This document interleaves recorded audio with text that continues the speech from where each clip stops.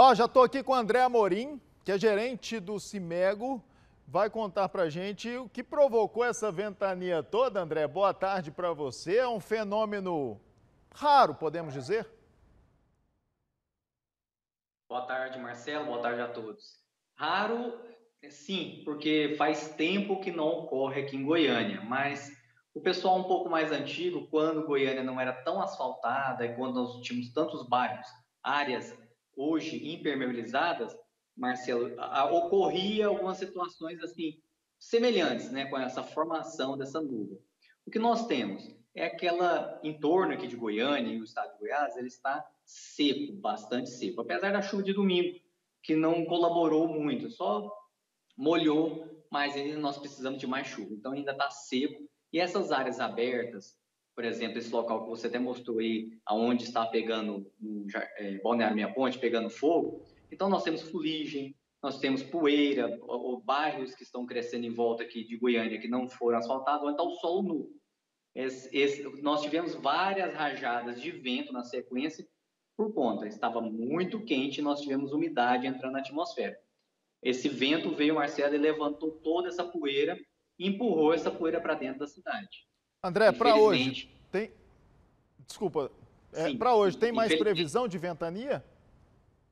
Sim, hoje nós temos há essa possibilidade, tanto hoje como amanhã nós temos essa possibilidade, porque é, nós estamos ainda com muito calor e essa frente fria que está lá em São Paulo, já deslocando para o oceano, ainda está colocando umidade aqui na região do estado de Goiás.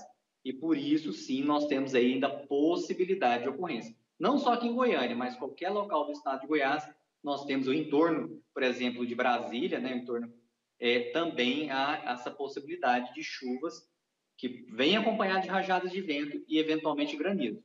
Ontem o que aconteceu em Goiânia? Começou, ia ter uma, uma possibilidade de chuva, só que essa chuva foi empurrada, lógico, com todo o sistema, que é um vento, e caiu em outros locais. Aí nós tivemos Anápolis com chuva. Ontem, Marcelo, em Jataí choveu 77 milímetros. Dá para acreditar?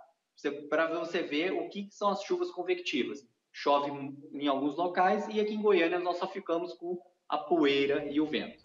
André, para a gente finalizar, já estamos em outubro. Podemos falar que começamos aí o período chuvoso ou ainda é cedo?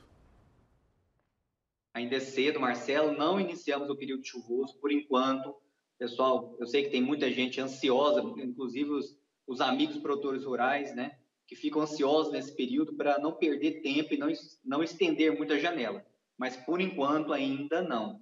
Está seco, está quente, nós temos que aguardar aí a segunda quinzena de outubro. Alguns municípios, como Rio Verde, o pessoal já está preparando, já estava com a terra preparada.